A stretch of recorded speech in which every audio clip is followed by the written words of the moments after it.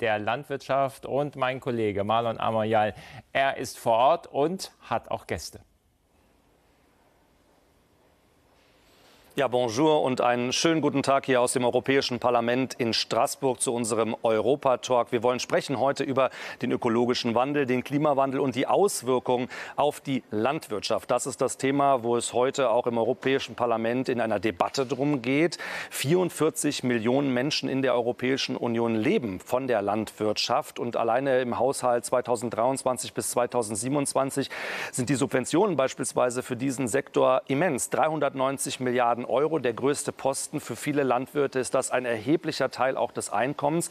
Und vor welchen Herausforderungen die Landwirte stehen, das wollen wir heute Morgen einmal miteinander besprechen. Und das tue ich mit meinen Gästen. Und ich freue mich ganz besonders, dass heute Morgen bei uns Sarah Wiener ist. Sie ist Grüne, stellvertretendes Mitglied im Umweltausschuss und Berichterstatterin für das Gesetzesvorhaben der Europäischen Union in Sachen Pflanzenschutzmittelverordnung. Landwirtin, das kommen wir nachher wahrscheinlich auch noch mal zu im Gespräch, also von daher vom Fach. Äh, und wir haben bei uns heute Morgen Alexander Alexander Bernhuber. Er ist Mitglied der ÖVP hier im Europäischen Parlament in der EVP-Fraktion, auch Landwirt und Mitglied im Ausschuss für Umweltfragen, öffentliche Gesundheit und Lebensmittelsicherheit.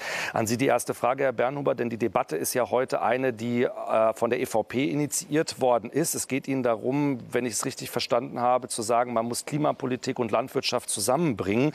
Was heißt denn das konkret?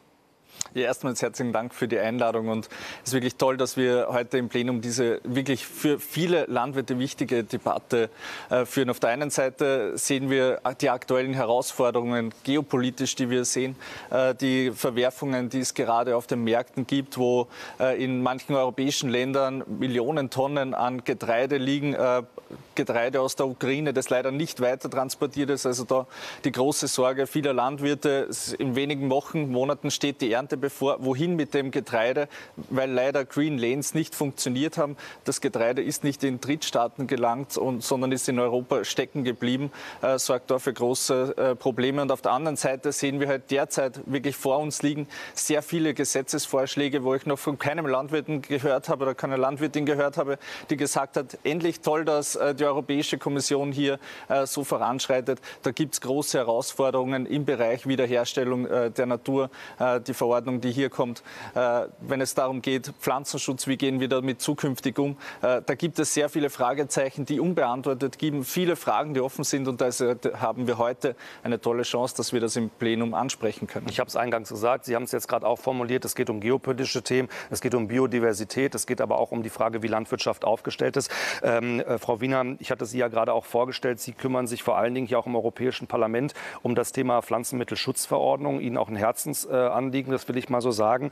Jetzt haben wir heute diese Debatte und es gibt ein Papier, äh, was jetzt auch lanciert worden ist von Peter Liese und äh, von äh, Norbert Linz. Das ist der Ausschussvorsitzende für Landwirtschaft. Da geht es vor allen Dingen gegen die Grünen. Also die Grünen würden nicht verstehen, was die Landwirte brauchen. Was entgegnen Sie denn diesem Vorwurf? Ja, die Frage ist, wer sind die Paten der Bäuerinnen und Bauern? Ist es die Ökologie und die Biodiversität oder ist das die äh, Pharmaindustrie und ist es, äh, ist es die Pestizidindustrie? Das ist eine grundsätzliche Debatte, die wir führen müssen. Was denken wir, äh, wer sollte und wer kann Bauern wieder mehr Freiheit ermöglichen, mehr Selbstständigkeit und ein gutes und sicheres Einkommen gewähren, und zwar auch noch in 20 und 30 Jahren? Ja, aber es geht ja auch, äh, also ja, aber es geht ja auch um Lebensmittelsicherheit, um auch, dass sozusagen auch genug Lebensmittel produziert werden. Ähm, es gibt eine Studie, die sagt, bis 2050 müsste sich die Nahrungsmittelproduktion eigentlich verdoppeln. Das geht, ähm, so wenn man so die Statistiken sich anguckt, im Grunde genommen ja nur mit der konventionellen Landwirtschaft als eine Säule, oder nicht? Nee, das sehe ich ganz anders. Im Gegenteil, wir brauchen eine ökologische Landwirtschaft, wir brauchen agrarökologische Maßnahmen, weil sonst haben wir keine Natur mehr und ohne Natur kein Essen. Insofern ist es ganz klar, dass mittel- und langfristig wir stabile Ökosysteme fördern müssen, die dann auch Lebensmittel in hoher Qualität erzeugen. Wir sehen ja jetzt schon, dass die Böden erodieren, 80 Prozent mit Pestiziden ähm, belastet. Wir sehen, dass wir Wetterextremprobleme haben, Klimaextreme. Also Klima ist überhaupt die Nummer eins in der Landwirtschaft, die Schaden anrichtet. Ähm, aber auch Wasser ist ein ganz großes Problem gerade und das wird man nicht durch Technofix lösen und dadurch, dass man noch mehr Pestizide oder Mineraldünger ausdrückt, sondern durch agrarökologische stabile Maßnahmen. Wir reden immer von Flächeneffizienz, aber das Wichtige ist, was wir in der Zukunft brauchen, ist Tiefeneffizienz. Gesunde Böden, fruchtbare Böden, mehr Bestäuber, die dann auch besseren Ertrag geben. Also wir müssen das ganze Landwirtschaftssystem äh, transformieren, um es eben resilienter aufzustellen. Transformieren könnte ja auch heißen revolutionieren, wenn ich Sie da verstehe, weil man sich neu aufstellen muss. Herr Bernhuber, Gibt es einen Zielkonflikt? Also Frau äh, Wiener hat es ja gerade erklärt, man möchte auf der einen Seite natürlich das Thema Ökologie ähm, und Klimaschutz zusammenbringen. Aber wie bringt man das zusammen, dass nachher Qualität auf dem Teller liegt bei den Verbraucherinnen und Verbrauchern und eben nicht auch die Themen Klimaschutz und Landwirtschaft gegeneinander ausgespielt werden? Ich gebe meiner Kollegin in vielen Bereichen recht. Sie spricht immer sehr auf einer Metaebene. Da, da stehen wir uns ja wenig, da widersprechen, widersprechen wir uns ja sehr wenig. Aber wenn es dann wirklich um das Detail geht, wie schaut es mit Lebensmittelsicherheit von einzelnen Produkten aus? Wie können wir zukünftig garantieren, dass wir in Europa noch genug äh, Kartoffeln produzieren können, wenn, man, wenn wir wissen, äh, ein Pflanzenschutz nach dem anderen verliert die Zulassung, äh, es soll noch eine extreme Reduktion an Pflanzenschutzmitteln geben dann sagt jeder Experte, dass ohne Pflanzenschutz Kartoffelproduktion für den Ausmaß, das wir in Europa brauchen, für die auch in der Qualität, die wir gewohnt sind, nicht funktionieren wird. Das ist dasselbe im, im Obstbau. Äh, hier braucht es einen gewissen Maß an Pflanzenschutz, egal ob biologisch oder konventionell. Aber speziell um, um einen gewissen Ertrag und Versorgungssicherheit aufzugewähren, äh, braucht es eben äh, einen Teil Pflanzenschutz. Und das Letzte, was wir wollen, ist, äh, wir verhindern in Europa, in der Europäischen Union ein gewisses Maß an Produktion durch unsere eigene Gesetzgebung. Wir werden abhängig von Exporten, Importen aus Drittstaaten, wo dann produziert wird mit Standards, die bei uns schon längst verboten sind und wo wir hier dann einen Mehrwert an die in Richtung Klimawandel leisten, stelle ich dann schon sehr in Frage. Da wo kommt denn dann, ja gerne, aber wo kommt, ich würde es verbinden mit ja. der Frage, greifen Sie es gerne auf, äh, Frau Wiener, äh, wo kommt denn dann die Lebensmittel her? Also wenn wir die Pflanzenschutzverordnung beispielsweise jetzt äh, Pflanzenschutzmittelverordnung sehen, äh, da fordert äh, die Europäische Union, dass dieser Einsatz bis 2030 auf, äh, um 50 Prozent minimiert wird oder 50 Prozent gesenkt wird. Sie gehen ja sogar schon weiter und sagen, eigentlich müssen es 80 Prozent sein, um die nee, Ziele das, zu erreichen. wo kommen die Lebensmittel dann her? Nee, das ist nicht so. Ich habe gesagt, dass ich 80 80-prozentige Reduktion möchte bei hochgefährlichen Pestiziden, die schon lang verboten sind und sogenannte Substitutionskandidaten sind, weil sie eben krebsschädigend sind, fruchtschädigend, Wasserorganismen schädigend, neurotoxisch, lange in der Umwelt. Die Frage ist doch folgende. Setzen wir jetzt weiter auf dieses Pferd, das, von dem wir wissen, dass es unsere Umwelt schadet und unserer menschlichen Gesundheit ähm, in vielerlei Hinsicht und die Biodiversität reduziert und die Böden Ressourcen auslaugt? Oder machen wir eine Transformation zu einem resilienteren System? Wir können ja nicht sagen, weil wir heute noch den äh, Überkonsum fördern möchten. Und das ist ein Punkt, den müssen wir eben auch in die Waagschale nehmen. Solange wir 20 bis 30 Prozent von Lebensmitteln in die Tonne treten und 60 Prozent in die Tröge unserer Nutztiere geben und nur ungefähr 25, 27 Prozent äh, selber essen, können wir schon und müssen wir uns die Frage stellen, ob das ein Modell ist, das wir weiter befördern wollen auf Kosten unserer Kinder und Kindeskinder. Ja, und deswegen ist die Frage ja, der Lebensmittelsicherheit ja stellt sich ja heute überhaupt nicht, ganz im Gegenteil. Wie gesagt, wir haben einen Überkonsum an Lebensmitteln. Auch äh, Herr Bernhuber hat es erwähnt. Wir haben ja gerade ein, ein, eine immense Auseinandersetzung, weil sich der Weizen aus der Ukraine in den Nachbarländern staut und die sagen, unsere eigenen Bauern gehen deswegen in die Knie. Beispielsweise in Polen äh, und Ungarn. Polen, Rumänien, genau, Ungarn Rumänien. und so weiter. Lassen Sie mich eine Sache noch mal festhalten, weil das, was Sie sagen, äh, wie man das zusammenbringt, wie man die Landwirtschaft neu aufstellt. Was entgegnen Sie denn beispielsweise Herrn Bernuber, der jetzt sagt, okay, wenn wir hier auf ökologische Landwirtschaft im größeren Stil setzen, Sie haben das Thema Wegwerfgesellschaft beim Lebensmittel angesprochen, sicherlich auch ein eigenes Thema. Aber wo kommen denn dann die Lebensmittel ansonsten her? Wenn Bauernverbände gleichzeitig sagen, wir haben zum Beispiel bei einer Redaktion des Pestizideinsatzes mit großen Ernteeinbußen zu tun, mit einem Bauernhofsterben zu tun. Naja, es ist eben nicht möglich, einfach so weitermachen wie bisher. Und dann lässt man einfach 50 Prozent der chemischen Pestizide weg und wundert sich dann, dass man einen geringeren Ertrag hat oder einen viel geringeren. Wir müssen tatsächlich agrarökologische Maßnahmen, also integrierten Pflanzenschutz machen, der ja zeigt, gerade auch auf der Seite der Kommission mit über 1000 Beispielen und in praktischen Beispielen, dass es sehr oft überhaupt keinen Ertragsverlust gibt und dass die, der Schutz der Biodiversität manche Kulturen zum Beispiel auch noch erhöhen kann, weil es mehr besteuerbar gibt. Also ich denke, man kann nicht die einzelnen Glieder zerhacken und dann sagen, wenn wir das so machen und das einfach weglassen, dann, ist, äh, dann haben wir ein Problem, sondern wir müssen tatsächlich das gesamte System transformieren. Und ich denke mal, wir müssen uns entscheiden, wollen wir unseren Nachbarn, die Familienbetriebe, die Kleinbauern, meine Region unterstützen mit der Landwirtschaft oder schauen wir immer nur auf Import und Export und sagen, wir müssen aber mithalten können mit dem Welthandel. Und das sind Fragen, die wir uns einfach stellen müssen. Darüber müssen wir reden und sagen, wie soll unsere Ernährung überhaupt ausschauen? Sollen die von wenigen äh, Global Playern dominiert werden? Oder wollen wir eine größere Vielfalt und sind deswegen resilienter, weil wir nicht alle Eier in einen Korb legen? So, also nicht alle Eier in einen Korb legen ist das Stichwort. Äh, gucken wir mal ein Ei uns aus dem Korb an. Was sagen Ihnen denn, Herr Bernhuber, die Landwirte, äh, mit denen Sie beispielsweise sprechen zu den Vorhaben der Europäischen Union, eben hier noch progressiver, sage ich jetzt mal, voranzugehen mit all den Konsequenzen, die das eben dann für die Lebensmittelproduktion und für die Landwirte hat?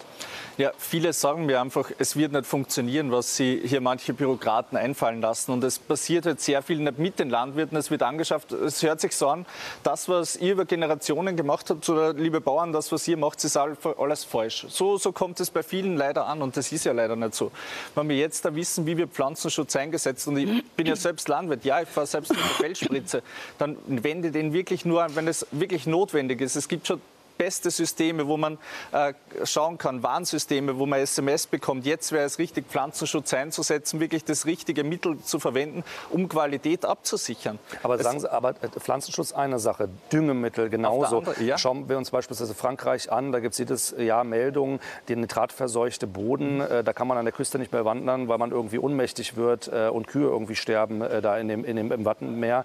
Das, man muss ja auch mit diesen sage ich mal, Extremform umgehen? Also wie bringt man das, ich habe es vorhin den Zielkonflikt äh, Natürlich muss man sich das regional dann anschauen. Wir wissen, äh, Niederlande, ein sehr intensives Agrarsystem, das wo wirklich eine Überproduktion ist, Dünger, äh, Gülle über hunderte Kilometer gefahren ist, ist, glaube ich, kein System, das wir zukünftig haben wollen, sondern wo es wirklich darum geht, wie kann man schauen, Landwirtschaft äh, wieder in bäuerliche Hand zu haben, wo dann äh, produziert werden kann, Lebensmittel für, für alle produziert werden. Aber höre einfach keine, keine wenig Unterstützung von Bäuerinnen und Bauern, die sagen, die Vorschläge, die jetzt gebracht worden sind, sind super. Der Druck auf, auf Bäuerinnen und Bauern ist ja immens groß. Äh, es gibt die Debatten über steigende Lebensmittelpreise. Lebensmittelpreise sollen sinken. Wir haben in Österreich Anfang dieser Woche einen Gipfel gehabt wegen hoher Lebensmittelpreise, was eins zu eins die Auswirkungen hat. Handelsunternehmen sagen, liebe Bauern, ihr hört den Ruf der Konsumenten, ihr müsst günstiger produzieren. Nur wird das nicht funktionieren, wenn wir die Vorschläge meiner Kollegin umsetzen werden, einfach Produktion Produktionskosten steigen, Lebensmittelpreise werden um vieles mehr steigen, als wir das jetzt haben. Also wie kann man das dann auch gesellschaftlich ja, wie bringt man das, Wie bringt man das zusammen? Also jeder merkt, aufgrund der Inflation, der Warenkorb wird teurer, das merkt man an der Kasse, wenn man jetzt sozusagen die Dinge mit hineinnimmt, zu sagen, okay, man muss qualitativ hochwertigere Lebensmittel erzeugen mit all den Konsequenzen, dann muss man doch am Ende des Tages, Frau Wiener, auch sagen, die Lebensmittel werden teurer. Ja. Wie bringt man das dem Verbraucher bei und wie soll er sich am Ende des Tages leisten? Es geht hier hinter uns gerade die Musik los im Europäischen Parlament. Ist das ja manchmal so, dass auch ein Staatsbesuch ansteht. Wir wissen jetzt nicht wer, aber bleiben wir bei unserem Thema ja. Landwirte und Ökologie. Ja, also äh, ich meine, es bleibt doch eine Grundsatzfrage, haben, wie haben wir eine Zukunft und wie ist diese möglich? Das bleibt ja vorhanden. Und man weiß, dass natürlich, es gibt sehr viele konventionelle Bauern, die sehr viel Pestizide schon eingespart haben und die IPM anwenden. Es gibt aber auch Studien, die zeigen, dass die 25 Besten die Hälfte der Pestizide nehmen wie die 25 schlechtesten. Aber sagen Sie mir mal, was, was sagt man den Bürgern? Was sagt man den Bürgern, einer Rentnerin, einem Rentner, der 1200 Euro hat, der weiß, wenn er nachher zum Discounter geht, der, es kostet 50 Euro mehr bei, bei den Lebensmittelpreisen Preisen. Es ist ja ganz einfach. Meinen Sie, dass äh, die Preise so günstig sein sollen, weil wir Leute schlecht bezahlen? Also die soziale Frage mit der ökologischen zu mischen und sagen, und deswegen soll der gesamte Bauernstand schlecht bezahlt werden und unterm Joch bleiben. Nein, aber ich sage, ja was, was, sagt man, was sagt also man den Menschen, Lösung den Bürgern, die sagen, es kostet am Ende des Tages mehr, wenn wir eben mehr auf beispielsweise Ökologie setzen, weniger auf konventionelle Landwirtschaft in dem Spektrum? Also ich kann Ihnen nur sagen, ich habe ja einen ökologischen Bauernhof und die Inflation in dem Ökosektor ist nicht halb, also ist nicht so groß wie die im konventionellen, weil wir weniger abhängig sind von teuren Input. Und ich denke, das ist der Weg, so zu gehen. Aber die Sache ist ja eine prinzipielle. Sie können ja nicht wirklich sagen, wenn Lebensmittel einen fairen Preis haben sollen, dass sie den nicht haben dürfen, weil Leute schlecht bezahlt werden oder eine zu hohe Miete haben. Also ich denke schon, dass wir sagen müssen, was, ist, was sind die Säulen unserer Existenz, was müssen wir schützen und wo müssen wir auch eine gesamte Sparte, die dann dafür verantwortlich ist, fair zahlen. Also die, es ist doch nicht wirklich die Lösung, dass wir sagen, Bauern sollen noch immer schlecht bezahlt werden, damit alle ja. anderen, die schlecht bezahlte Jobs haben, überleben können. Oder also sie sollen konventionelle, die, die belastete, das, belastete so, Lebensmittel essen, mit, äh, die schwerst verarbeitet sind oder mit Pestiziden belastet sind, weil, tut mir leid, du hast halt wenig Geld. Frau Wiener, also Sie bringen sich jetzt gleich um die letzte Frage an, mich, äh, an Sie äh, von mir, weil wir gleich loslegen äh, und ins Parlament abgeben. Deswegen also wichtigen Punkt, den Sie setzen wollten. An Sie nochmal, Herr Bernhuber, denn die Debatte geht mhm. gleich los. Erwartungen an den heutigen Tag, an die Debatte. Worum soll es im Kern gehen? Na, es sollte endlich wirklich einmal auf der Tagesordnung wieder sein, wie wichtig Agrarpolitik ist. Agrarpolitik ist ein europäisches Thema. Wir brauchen gemeinsam Lösungen für unsere Landwirtinnen und Landwirte. Die haben große Sorgen, das gehört angesprochen. Da sind wir dankbar, dass das heute debattiert so, und zur Höflichkeit gehört zu. Sie kriegen natürlich auch noch die letzte Frage. Ihre Erwartung an die heutige Debatte, was ist Ihr Punkt? Ich hoffe, dass man sieht, wie komplex auch die Landwirtschaft ist und dass es nicht einfache Lösungen gibt und äh, dass Landwirtschaft eine Transformation braucht, damit wir alle gute köstliche und zukunftsfähige Lebensmittel haben und auch eine Zukunft, die wo die Natur hoffentlich doch auch eine große Rolle spielt, damit wir eine lebenswerte Zukunft haben. Also es geht auch um die lebenswerte Zukunft. Sarah Wiener war das. Ich sage ganz herzlichen Dank. Sie müssen in die Debatte sein. Sie ja. sprechen heute auch. Äh, Alexander Bernhuber, auch Ihnen ganz herzlichen Dank. Und im Plenum, da ist es schon losgegangen. Da spricht gerade für die schwedische Ratspräsidentschaft. Nein, ich sehe gerade hier den Vizepräsidenten des Europäischen Parlaments. Der spricht in der Debatte. Und wir geben ab ins Plenum und wünschen Ihnen hier viel neue Erkenntnisse in Sachen Landwirtschaft und Ökologie hier im Plenum im Europäischen Parlament. Platz wechseln. Is it better? No. Ist es jetzt besser? in, the first rows, do you have, do you have in den ersten eure, äh, Reihen haben Sie da die Verdolmetschung? Ja, es kann sein, dass die Kolleginnen und Kollegen äh, in den Reihen, also äh, Herr Ja, also die vordere Rolle hat die Verdolmetschung. May I ask, uh, you have translation and you? You also. Possibly in the middle places, ja, die mittleren Plätze, äh, da wäre es vielleicht eine Idee, jetzt äh, weiter nach unten zu gehen. Also wir können das jetzt nicht so ad hoc beheben, das Problem.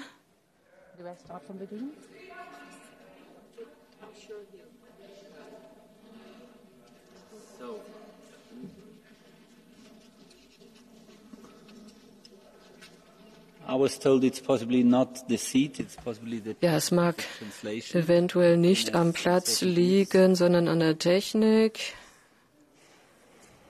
oder dass nur bestimmte Kabinen betroffen sind. Haben Sie die Verdolmetschung? Können Sie sie hören?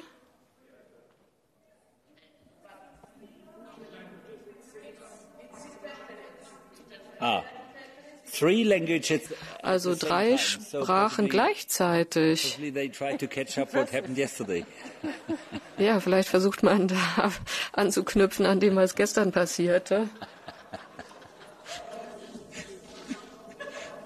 So, so in that case we have to wait possibly for a second. So it's Romanian language, I guess. Also Rumänisch scheint betroffen zu sein. Now I have also two. Also ich habe jetzt Ja auch też nagle zwei. słyszę dwa języki teraz. Słyszę teraz niemiecki i rumuński.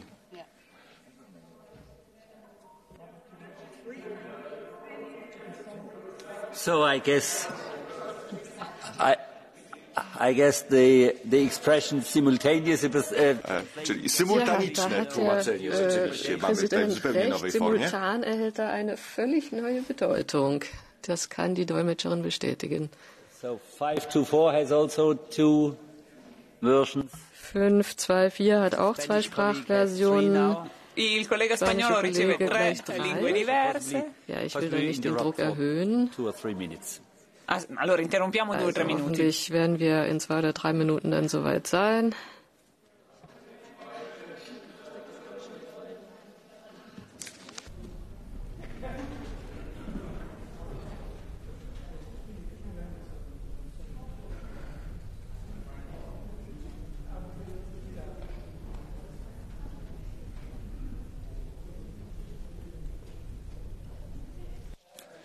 Test, Test.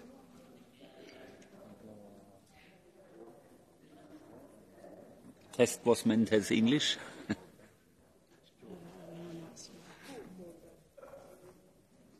I do not have German translation. No. Neither Romanian. I think they switched off in a moment.